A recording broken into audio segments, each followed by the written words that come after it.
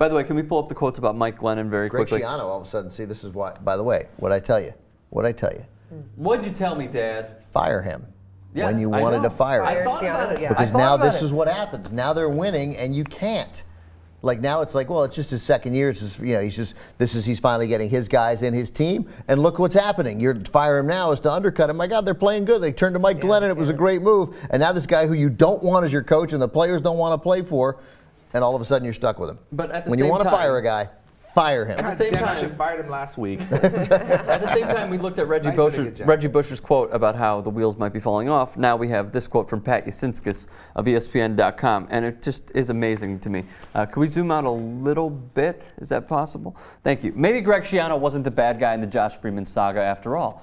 Maybe, maybe while looking like he had no clue, the coach of the Tampa Bay Buccaneers knew precisely what he was doing.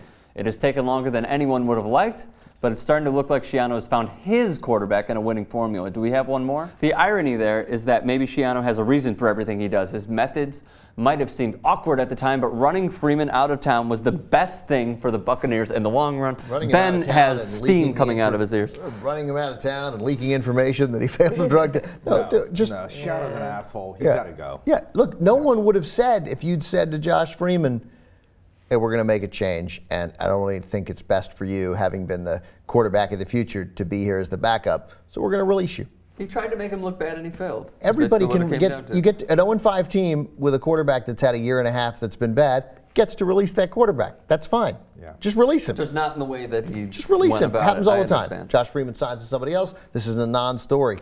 But no, I mean the bad mouthing of him, and the, look, the players. You hear it. Players, they don't like it. He's he threw uh, he threw he threw Dex, Dexter Carter. Dexter, who was the Super Bowl MVP for the Buccaneers when they beat the Raiders, the defensive player. Warren Sapp. No, Dexter. Derrick Brooks. No, it was another dude.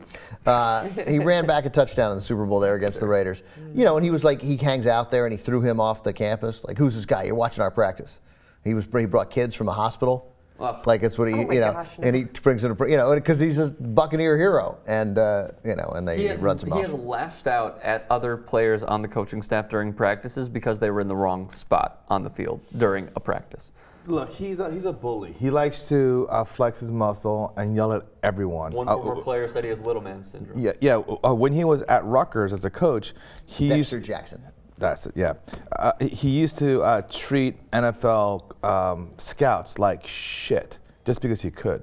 and, and he would put them into this like little dugout area and say, "Watch the games from there. Watch the practice from there." He's a jerk. He's just a total Yeah, jerk. you should have fired him. Like you, you, once you recognized he was the wrong guy, uh, they, they, you know, they made a mistake. Good luck getting free agents Are to they come going to down. fire? Can they fire him at the end of the season? I mean, they can if like they end up three and thirteen now, or even four and twelve. But I mean, If here's he the wins thing. five games, it's going to be Right, tough they to won three in fire a him row. now. They're three and eight. If they finish three and two and end up six and ten, ending the year six and two, I don't see how you can fire him. Is Okay, Mike so- Glennon the future? Sorry. Go- Is no, Mike go- Glennon the future? That, that's the point that I wanted Yeah. to make. We're talking about Greg Schiano, but the story is actually about Mike Glennon. I just picked out that part because I knew Ben would be fuming.